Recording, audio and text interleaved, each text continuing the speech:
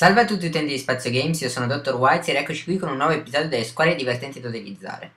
Oggi ho deciso di portarvi un 3-5-2 della Major League Soccer, campionato americano molto sottovalutato online. Iniziamo subito dal portiere, Carlo Cudicini. Vecchia conoscenza del calcio inglese, Cudicini è un ottimo portiere a mio parere. Soffre, come tutti i portieri argento, contro gli attaccanti oro, quindi attenzione quando affronterete team oro. Passando alla difesa, primo difensore, Marvel Win. Prima cosa che notiamo, 93 di velocità che lo rendono il difensore centrale più veloce del gioco. Il problema di questo giocatore è che è poco altro oltre la velocità, quindi non è un granché in difesa. Altro difensore, Jamison Olave. Questo è un giocatore veramente completo. Non è infatti così lento, infatti ha 75 di velocità, ma un ottimo colpo di testa e un ottimi valori difensivi, davvero consigliato. Il terzo della linea difensiva è Ike Upara, è bronzo ma è molto veloce, ha dei buoni valori di testa essendo anche alto 1,88 m. Lascia veramente a desiderare per quanto riguarda tiro, passaggio e dribbling, ma da un difensore possiamo accettarlo. Passando al centrocampo, il primo esterno destro è Daniel Richard. Giamaicano, molto veloce, 94, quindi un fulmine sulla fascia, ha la tendenza ad accentrarsi come l'altro esterno. Quindi io vi consiglio di usarlo o lanciandolo sul fondo, quindi usando molto la tattica del contropiede, oppure magari per accentrarsi, per un gioco più ragionato.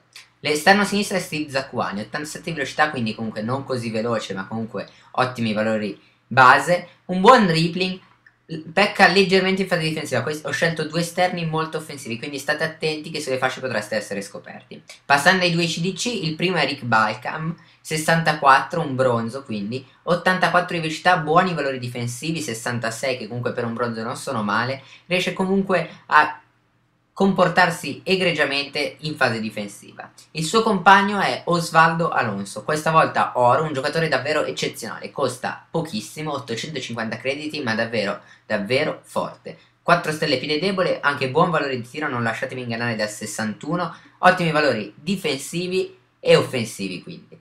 COC, Landon Donovan nella sua versione Team of the Season Most Consistent, costa parecchio, 65.000 crediti, se non potete permettervelo Prendete tranquillamente uno tra Beckham o Juninho, sono fortissimi anche loro.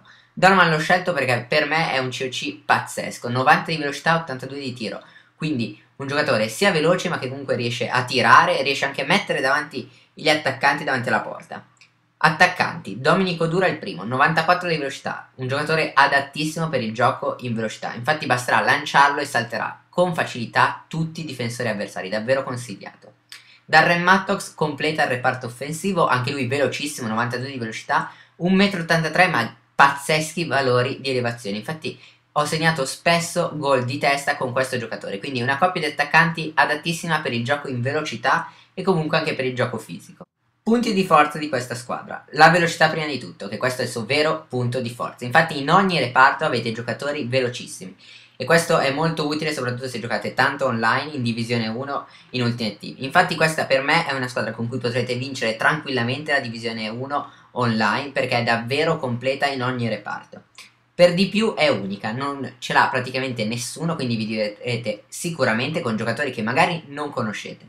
Altro punto di forza, il costo. Non è altissimo se escludiamo i difensori e Donovan Difensori sono indispensabili, quindi dovete spendere per quello. Per Donovan, come vi ho detto, potete tranquillamente usare Juninho o Beckham nelle sue versioni base. Non mi piace di questa squadra gli skiller, non c'è nessuno skiller, quindi solo 4 stelle skill il massimo. E il portiere che non è il top contro le squadre oro. Questo però è comune a tutti i portieri argento, che soffrono molto i tiri da distanza all'incrocio che difficilmente riusciranno a parare. Se siete dei nostalgici potete tranquillamente usare Divaio in attacco, che è davvero forte, e Nesta in difesa.